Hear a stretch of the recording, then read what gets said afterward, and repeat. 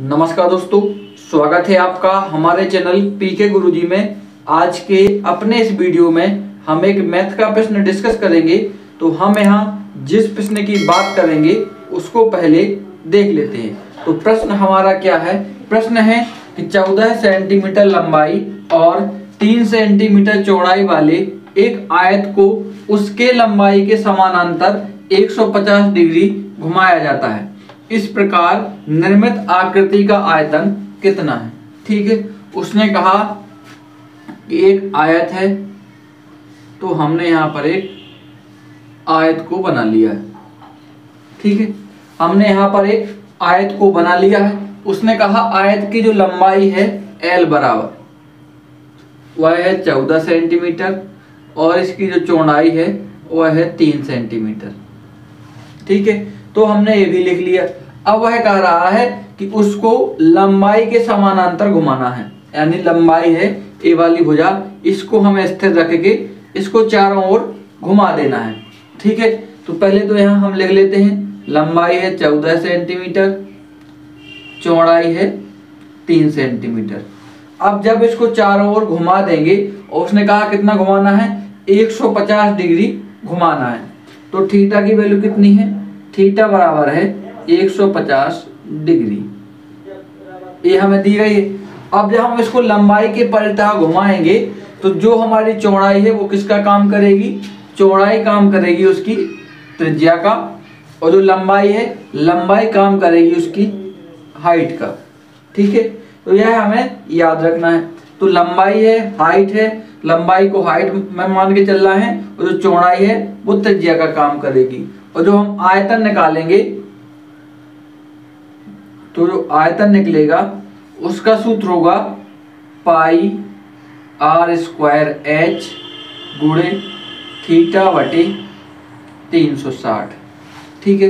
तो इस सूत्र से इस आकृति जो घुमाने के बाद बनेगी, उसका आयतन हम निकालेंगे। ठीक है?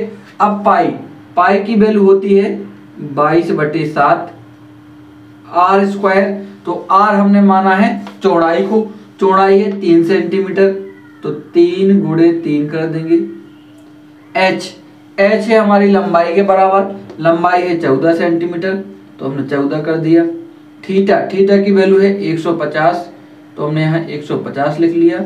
भागे 360 ठीक है, हमने सबकी वैल्यू रख दी। यहाँ पर हमारा ज़ीरो खिसक जाएगा। ये दोनों ज़ीरो हम यहाँ काट देंगे। और क्या कटेगा? सात से काटेंगे, दो बार कटेगा, सात दूनी चौदह।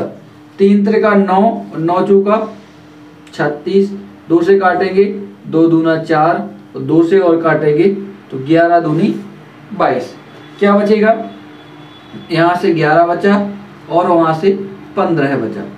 गुड़ा करेंगे पंद्रह एकम पंद्रह पंद्रह एकम पंद्रह एक तो यह आ गया घन सेंटीमीटर। ठीक है? तो जो आकृति बनी, उसका जो आयतन निकल के आया, वह आया एक सौ पैंसठ घन सेंटीमीटर, ठीक है? तो आकृति में आपको देखना है कि यह वाली जो भुजा है, इस भुजा के समानांतर इसको घुमाया गया है। यानी जो आकृति बनेगी, वह इस टाइप की बनेगी। जो आकृति है, वह इस टाइप की बनना है, ठीक है? तो यहाँ पर जो ए वाला हमारा फॉर्मेट है, यह क्या है हमारा आयत है। तो यहाँ पर त्रिज्या तीन सेंटीमीटर काम करेगी, इसकी लेंथ है, वो हाइट का काम करेगी एच तो यहाँ आप इस डायग्राम से भी समझ सकते हैं। अब इसको पूरा नहीं घुमाया गया है, उसने हमें एक पार्टिकुलर एंगल दिया है। क्या दिया है? कि 150 डिग्री घुमाया जाता। इसलिए हमने थीटा बटे 360 का गुड़ा किया। अगर पूरा घुमा देता तो हमारा, हमको यहाँ थीटा बटे 360 लिखने की ज़रूरत नहीं पड़ती, ठीक है? तो ऐसे ही नॉलेज बढ़ाने वाले वीडियो देखने के लिए जुड़े रहिए आपके अपने चैनल पीके गुरुजी के साथ। नमस्कार।